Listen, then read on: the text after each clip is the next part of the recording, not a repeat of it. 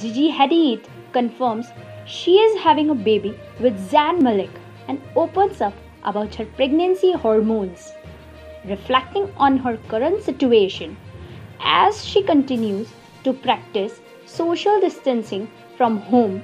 Hadid said her pregnancy is a nice silver lining to be able to be home and together and to really experience it day by day.